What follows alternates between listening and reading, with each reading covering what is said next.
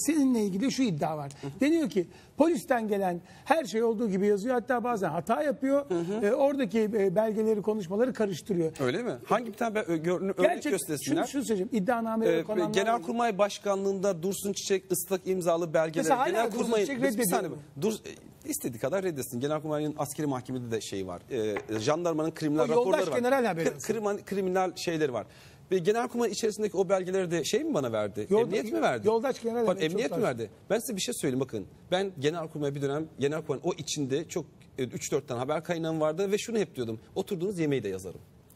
Salonda a, 10 kişisiniz oturduğunuz düzeni yazarım. Hala duruyor mu bu kaynaklar? İki kişi evet halen İyi. daha duruyor. Bakın Yoldaş başka bir şey haberi mesela. Başka bir şey diyeyim. Bakın yoldaş ona hemen geleceğim. Başka bir şey e, söyleyeyim size. Ve ve onları da şey mi yaptılar bana? Emniyet mi gönderdi? Başka bir şey söyleyeyim. İlker Başbuğ tartışmasıdır. Bir dönem belgeleri Işık Koşener'den aldığım söyleniyordu. Böyle bir şey vardı, kuşku vardı.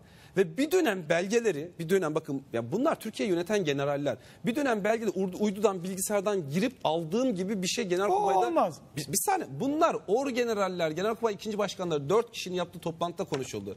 Ben dedim Sen ki onu nereden ben biliyorsun? biliyorum. Ya bakın biliyorum benim haber kaynağım var. Biliyorum. Yani o dört generalin kendi arasında konuşmasına kadar siz de bakın ben size diyorum ki dört general verdiğim zaman diyorum ki bu dört generalden biridir. Benim haber kaynaklarımdan biri de. Çok affedersin. Aynen şunu söyledim. Dedim Hangi- ki ya hangi düzeyde generaller?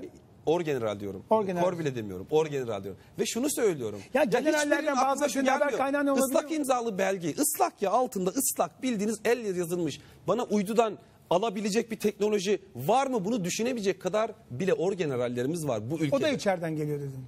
E nereden gelecek Peki. başka?